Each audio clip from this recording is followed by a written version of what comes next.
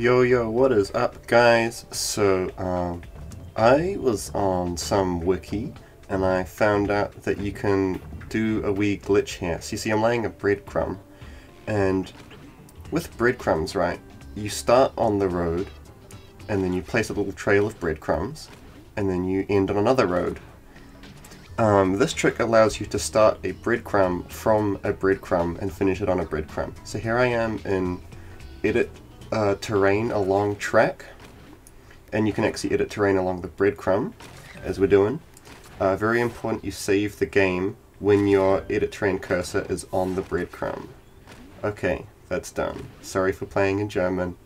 Now that we've saved, what we do is we go back to breadcrumbs and you see we can now move this breadcrumb cursor along the breadcrumb. Very, very cool. I'm now starting a breadcrumb from the breadcrumb and it goes green, shows you that I can have a breadcrumb starting on a breadcrumb and ending on a breadcrumb. If you haven't played this game, um, breadcrumbs are just little shortcuts that you can add to your track. Um, currently they're invisible because I haven't you know, marked anywhere on the grass to show you where you're allowed to drive. Um, so in create mode, I can see that I've got these little orange dots with arrows telling you where it's legal to drive. But anyway, so I've just saved that. Um, one thing to note is you can't start a breadcrumb using this trick from a breadcrumb and end it on the road. You have to start and finish your secondary breadcrumb from the original breadcrumb. Okay, okay, here we go. We're back in the editing terrain tool. This is, you know, edit terrain along track. I'm now going to spray uh, the grass. As I said, um, you know, if you were to play this race right now, the breadcrumb is invisible.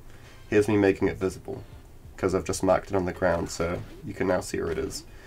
Um, note that I can't um, mark the ground along the secondary breadcrumbs, because, I mean, they're not meant to be there. You're not meant to have these secondary branching breadcrumbs. Yeah. Uh, cool thing, so this is the, the auto-populate tool. Um, as you can see, when you're on the road, um, with the auto-populate tool, you're not meant to be able to take this tool onto the breadcrumb, but you're allowed to take the edit terrain along track tool onto the breadcrumb. So we take this edit terrain along track tool onto the breadcrumb. For some reason it snapped onto the secondary breadcrumb. I don't know why that happened and I wasn't able to replicate this, but very cool. So when we have our edit uh, terrain along track tool active on a breadcrumb, we save the game, and then we uh, navigate through the menus straight to the um, what's it called? Um, sorry. Auto-populate tool, that's right, yeah. Um, I'm doing something else. Cool, yeah. Now that, now that the, the game just randomly gave me a chance to um, mark the ground where the secondary breadcrumb was, I took that chance, took that opportunity. So I've now sort of marked where that secondary breadcrumb is, but it's kind of glitching. Cursor keeps snapping back to the road, which is kind of funky. But yeah, the exciting thing about this is, so you see my big asphalt track going around the outside.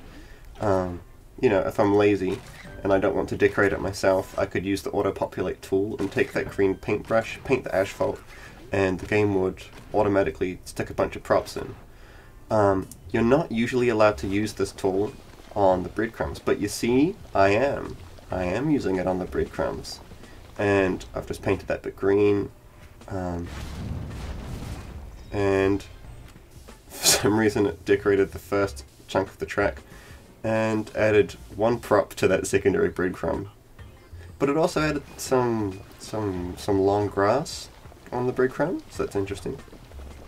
Right now I'm showing you how this tool is actually meant to work. You see I've just highlighted all the asphalt with the auto-populate tool and for some reason it was happy to add some item pods there, adds um, some item pods there, puts a couple panels on the ground there, item pods there, but it didn't really decorate it which is interesting. It, see the way it had added um, trees, signs and houses, that's what it's meant to do, um, but it for some reason just failed to do that.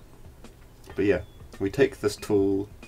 Uh, so yeah, we're back in the edit terrain along track uh, cursor because this is the only cursor you can snap onto a breadcrumb. We save the game now that our cursor is on the breadcrumb. Once the game is saved, we go back to the menu and we navigate straight towards the auto-populate tool. And now the auto-populate tool is snapped to the breadcrumb, and we can highlight this breadcrumb. Look at us go. Auto-populating the breadcrumb. Yay, we just added trees, fence, some long grass. Very cool. And some random hills, cool. Um, no, the uh, no, those hills, the banks at either end of that uh, main breadcrumb prob were probably added when I highlighted the, the main asphalt track because it often adds banks around the main track when you do that. Um, yeah, so I forgot to remove this fence, so you can't really get onto the breadcrumb because of the fence in the way.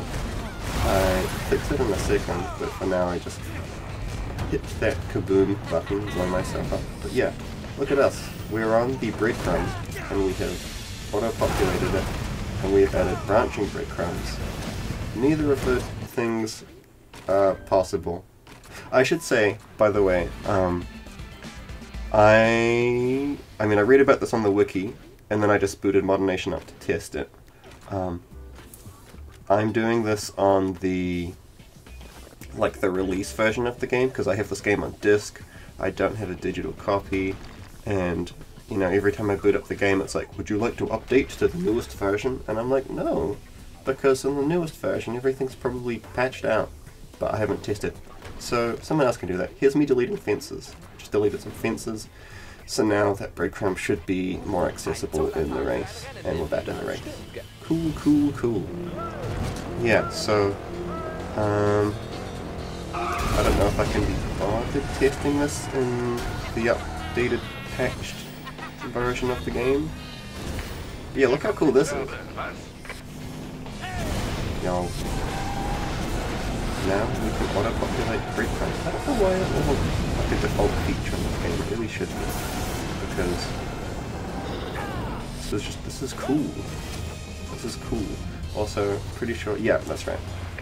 When I was doing this, I stopped here, went back, and I was trying to work out where the branching breadcrumbs were. Because once we used the auto-populate tool to put that fence, those trees, and that grassy bank there, and this big sign with arrows, so it was quite hard to spot. But thankfully I did manage to mark it on the ground so you can see the, the light sandy color of the terrain there. I fell off. Cool. But yeah, I did find it. Branching breadcrumb is there and it does work. So that's pretty cool and wild. Um, yeah. That's pretty much it for this video. Pretty sure I just finished the race. Um, to the total of six people who see this. And I've got something big in the works. I'm planning on making a big definitive ModNation Racers, glitches, tricks, shortcuts, exhibition tutorial type video. And it's going to be a million hours long and it's going to have everything. It's going to be so comprehensive. Okay, cool. See you. Bye.